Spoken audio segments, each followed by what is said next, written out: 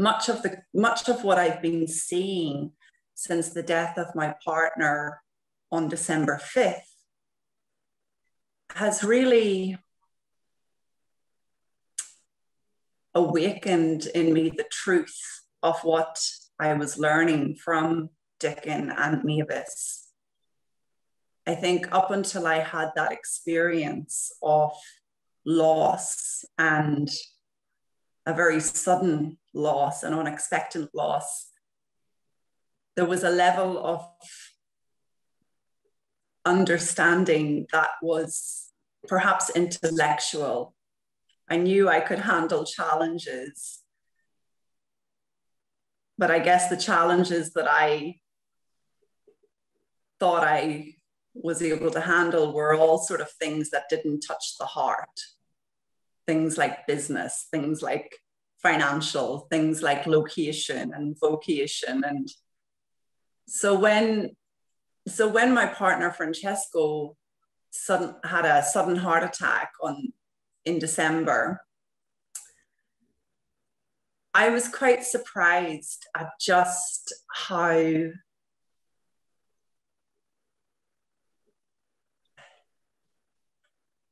how true it is that love is all around and that love is what we need most and what is available in a relationship, regardless of the human drama that goes on. Mm. And so the feelings of love that I have lived in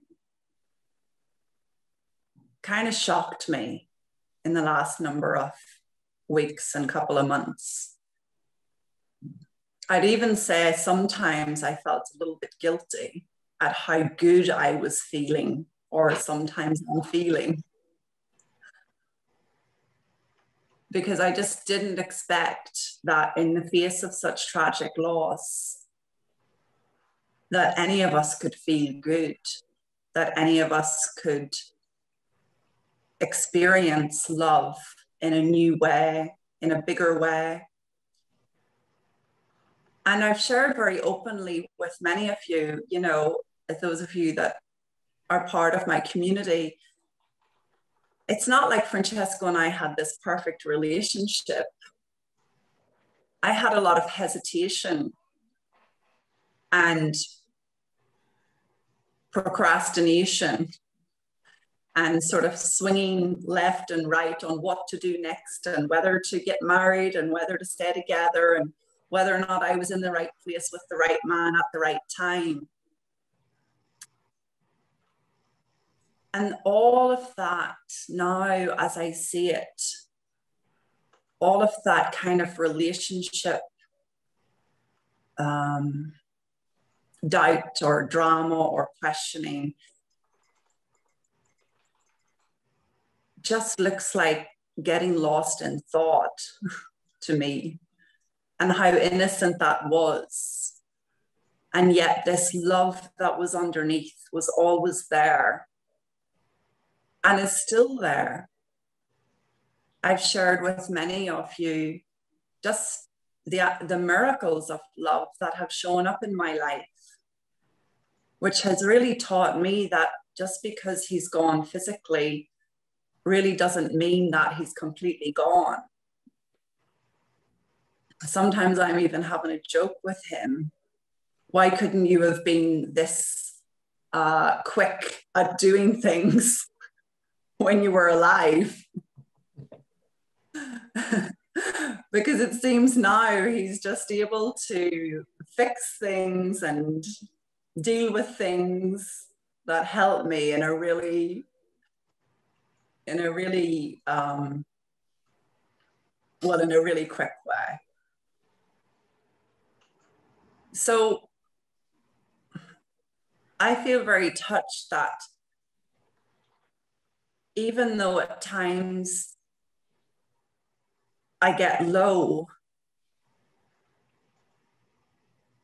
and there's a couple of times I have really fallen. And when I think about not just losing the love of my life, but also now losing you know, the life that I once knew, my life, nothing looks the same.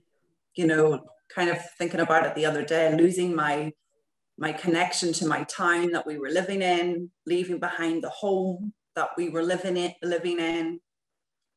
Now living um, and here with his with his parents and being looked after for a while. There was just a lot of loss all at once. And what's really helped me, or what's really been very important for me to see as a second piece to this experience, is even when I'm really, really low, it's a feeling of grief and loss without fear. And I didn't know that was possible. It was only when I was listening to an interview with a woman who'd lost her fiance 20 years ago. And I heard her story and I heard the tragedy that happened to her. And, and I also heard where she was 20 years later that I realized, wow, that could be me if I didn't know what I know. If I didn't, if I hadn't had a grounding and understanding that feelings, all feelings are love in disguise, and that if we allow an experience to flow, we can handle anything. So I would describe my my big lows and my tears and my grief as a little more gentle as a result of not getting stuck there, as a, as a result of knowing that, that, that that's temporary and without a, a second layer of suffering called fear or panic. And those two things have just been very big for me in the wake of all of this. The fact that so much love has been felt and experienced, and the fact there's a presence of love from Francesco continuing to touch my life, coupled with being able to go through this terrible loss without that second layer of suffering called fear, without it getting locked in and stuck. And I thought that this would be important for people to realize or to hear. Maybe you're someone who's experiencing loss, a loss of any kind, and perhaps it's taking you down and it's